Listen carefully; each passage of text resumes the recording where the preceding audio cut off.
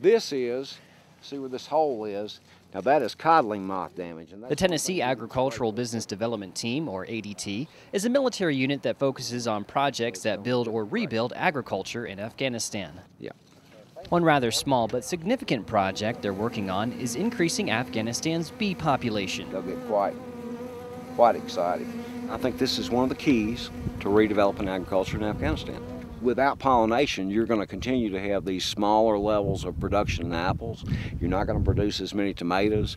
And then also because of not having enough pollinators, they are importing apples from Pakistan. You can go downtown Gardez right now and you can buy Pakistan apples.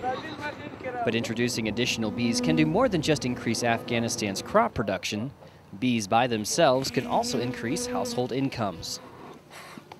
If you could make, say, 40 pounds of honey from a hive, that's, that's very easily $40 a year in additional income. Their family income for a family of 10 or 12 is like seven or $800 a year. So if you add 50, $40, $50, then all of a sudden you've made a significant contribution to their income. By early 2010, Sergeant Moore and the Tennessee ADT hope to move approximately 700 of these bee boxes into more than 350 Afghan farms in the Paktia province. Reporting from Paktia, Afghanistan, I'm Army Sergeant Richard Fink.